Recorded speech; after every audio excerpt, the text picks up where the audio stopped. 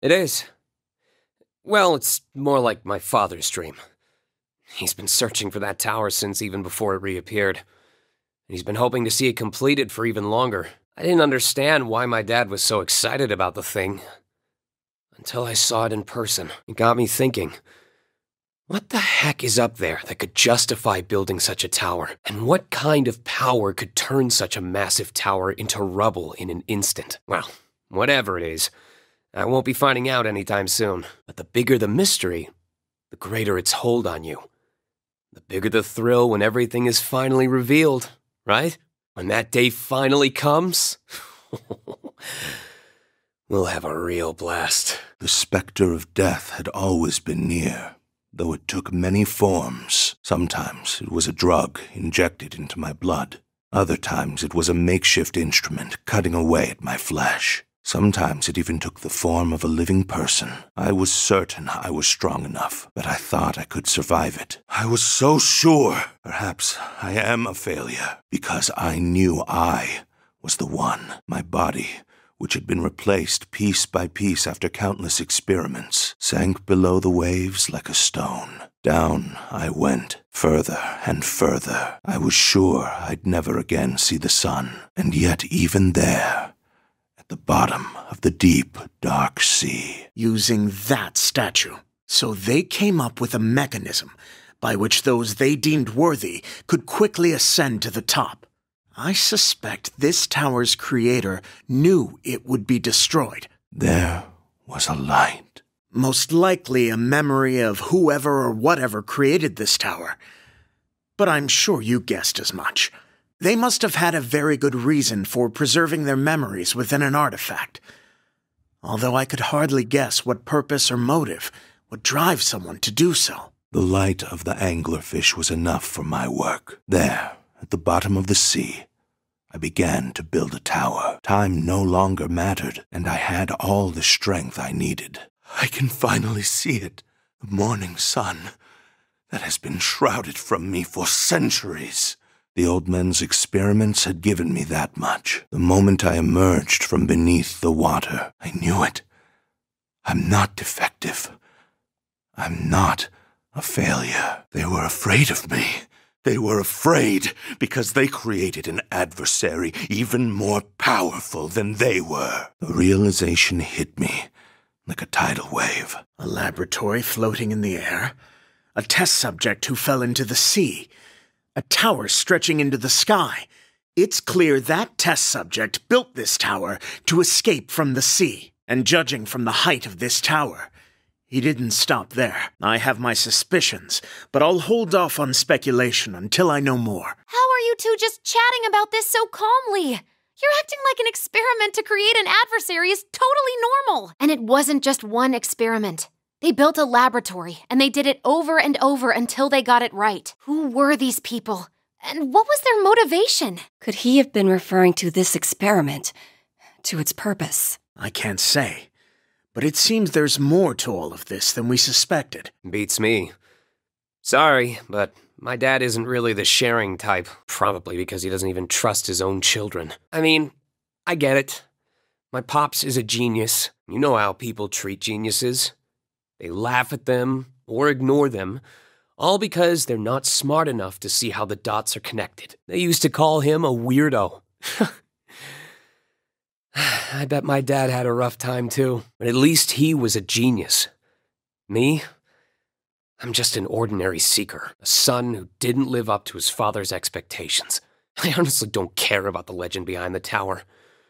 What I want is simple. I want to see the tower completed. And I want to see what destroyed it with my own two eyes. Nikki, you know you can talk to us about how you're feeling. I'll understand. Yeah, that's right. Me and Irena have a lot of experience helping kids work through their feelings. Are you calling me a kid? The door. I was so convinced all I had to do was make it back there. The door to the laboratory would only open for the vessel of an adversary. I knew I could pass through it. There wasn't a doubt in my mind, because even if I wasn't complete yet, I was the vessel of the adversary. All I have to do is make it to the laboratory. From there, I'll be able to figure everything else out. As long as I can make it through the door, I'll become a true adversary. I'm so close now. I just need to build a little higher. I just have to hold out a little longer. Or so I believed. I thought I saw it peeking out from below the clouds, beneath that cliff from which I was thrown so long ago.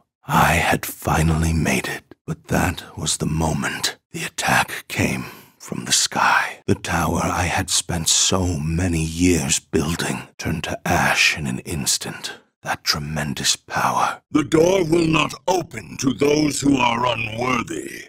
Ever. Came down upon my head, laying there at the bottom of my broken tower. I had an epiphany. I didn't have to open the door myself.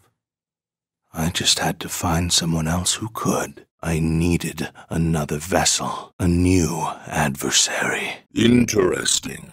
I was curious who had restored this blasphemous tower. Machines. I see. Despite encountering the Guardians, you survived. You are a true adversary. I do not attack those who are worthy. Those who built me built the Guardians to identify a true vessel. But it's strange. The Guardians cannot function beyond the bounds of their domain. You shouldn't have encountered them at all.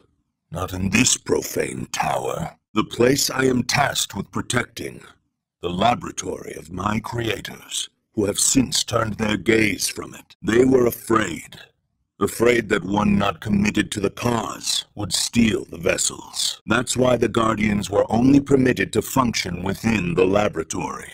If they left, they should have grown still, little more than ordinary statues. Perhaps someone intentionally lured them away, but too many years have passed, and countless guardians have gone missing. Such a person might have had the means to reprogram them to attack you. Yes, but none of this changes my duty. A worthy vessel is here.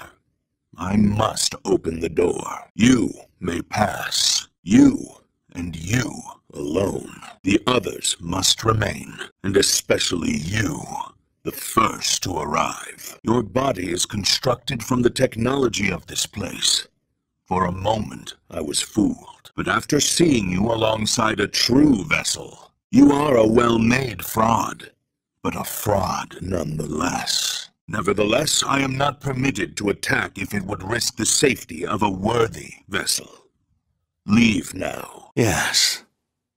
One like you. Of course. How could I not after what happened last time? Oh, yeah, we're old friends.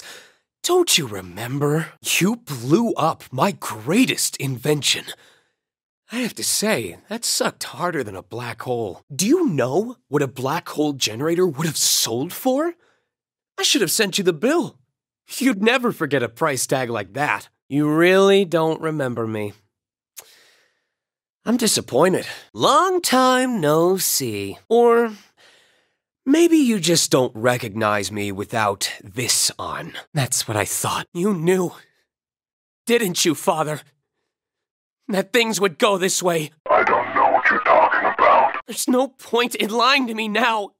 I'm going to die here anyway, and can't you be honest with me just this once? Kalos' power, once I had it in my hands, there's no way I could have ever given it up. I felt like a god! defective? How dare you call me defective? Spending all their time in that lab must have driven the old geezers crazy. If I could just get out of here, I know I could find a way to fix everything somehow. No! Stay back! Ah! You said you weren't disappointed.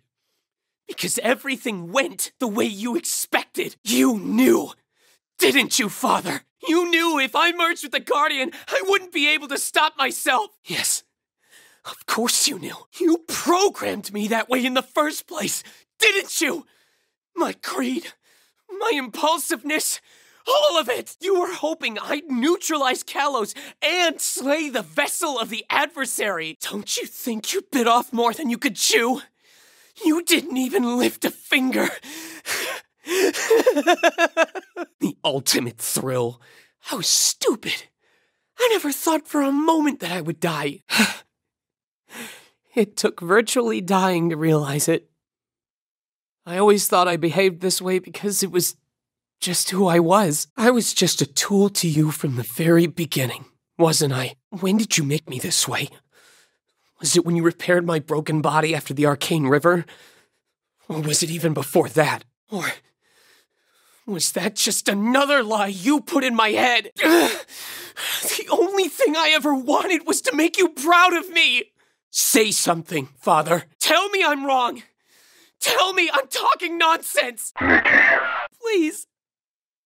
You know whatever you say, I'll have no choice but to believe you. I'm proud of you.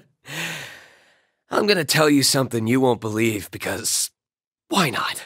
You know Jaren Darmoor? God King of the High Flora? I met him once. He came to us when the company first fell apart, and he talked about you. He was planning to break your precious seal stone right from the beginning, even before you reach the end of the Arcane River. If you're curious, you should go there too, to Odium.